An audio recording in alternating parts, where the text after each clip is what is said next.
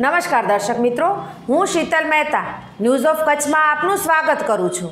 જોઈએ આજના સમાચાર. કચ્છ ભારતીય કિસાન સંઘ નર્મદાના પાણી મુદ્દે આકરા પાણીએ.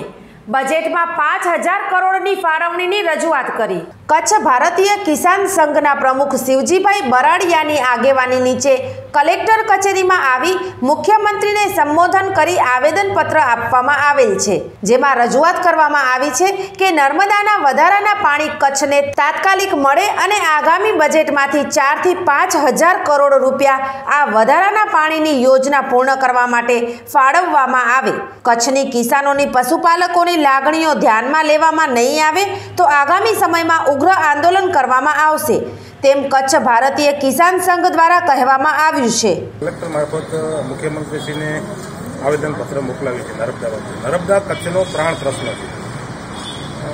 દુઃખની વાત એ છે કે અત્યાર સુધીમાં આજે આવેદનપત્ર કહો તો આવેદનપત્ર અને અલ્ટિમેટમ કહો તો અલ્ટિમેટમ અનેક વખત આપણે એમને પત્ર મોકલાવ્યા છે આ બાબતે હજી એમનો જોગે પ્રત્યુત્તર મળ્યો નથી. એટલે આજે હવે અલ્ટિમેટમ કહીએ તો અલ્ટિમેટમ વિનંતી કહીએ તો વિનંતી.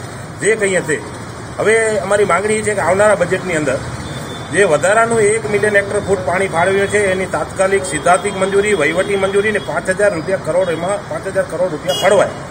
એક વાત. બીજી વાત કે જે અધૂરા કામ છે નિયમિત પાણીના, દુધઈ સબરત કેનાલની વાત કરીએ તો ત્રેવીસ કિલોમીટરના કામ થયા છે, બાકીના કામ બાકી છે. એમાંય જે બી કેનાલમાં તે પાઇપલાઇન કરી છે, એમને પાછી કેનાલ કરે અને જે અધૂરા કામ છે, અને ખેડૂતો ઉપર ઠીકરો જે ફોડે છે, કે ભાઈ ખેડૂતો જમીન સંપાદનનું કામ કરવા નથી દેતા સતત હું લાઈવ છું ખેડૂતો સાથે. ખેડૂતોને કાલની તારીખમાં અગોતરા એવોર્ડ કરે ને, તો પૈસા લઈને સરકારની ગાઈડલાઈન મુજબ.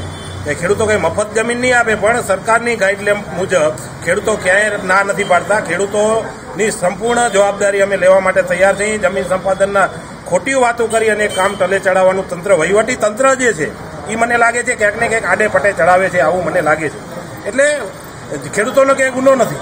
માત્ર ને માત્ર ખેડૂતો ઉપર એમ દોડવામાં આવ્યું કે ખેડૂતો જમીન સંપાદન કરવા દેતા એટલે કામ અટક્યું છે. બીજી વાત કે મુખ્યમંત્રી જ્યારે જ્યારે આવ્યા છે નાયબ મુખ્યમંત્રી આવ્યા હોય, મંત્રીઓ આવ્યા હોય, ત્યારે સતત વાત કરી છે કે હવે તો બસ આ બે મહિનાની અંદર સતત અમે આઠ દિવસ, આઠ દિવસની અંદર એનું રિવ્યૂ લઈએ છીએ.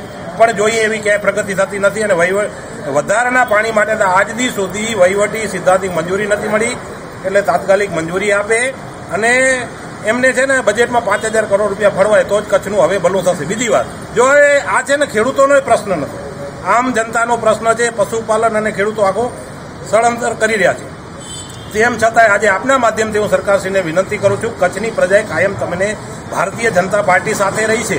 જ્યારે જ્યારે મતો હે ને ધોબાના ધોબા ભરીને તમને મત આપ્યા છે એટલે હવે તમને અમે વિનંતી કરીએ છીએ જો આગામી દિવસોમાં આ છેલ્લું હે ને આવેદનપત્ર છે, હવે આવેદનપત્ર નહીં હોય, હવે સીધું છે ને કાર્યક્રમ હશે. એટલે હવે આગામી દિવસોની અંદર અમારી વાત છે એનું પોઝિટિવલી લઈ બેઠક બોલાવી. અમે ચાર પત્ર લખ્યા છે, હજી સુધી સમય પણ નથી આપ્યો. એટલે સમય આપીને તાત્કાલિક આની ચર્ચા કરી અને હૈયાધારણા આપે. નહીંતર આગામી દિવસોની અંદર મોટો કાર્યક્રમ કરવામાં આવશે. હવે કચ્છની પ્રજામાં, કચ્છના ખેડૂતોમાં, કચ્છના માલધારીઓમાં મોટો રોષ છે. એટલે આવનારા દિવસોમાં એ દરમિયાન કાંઈ પણ પરિસ્થિતિ નિર્માણ થશે. સરકાર અને વહીવટી તંત્રની રહેશે. એ રીતે હવે કિસાનોએ નર્મદાના પાણી માટેની આટલા વર્ષો સુધી ધીરજ રાખી હતી. હવે એ ધીરજનો અંત આવ્યો છે.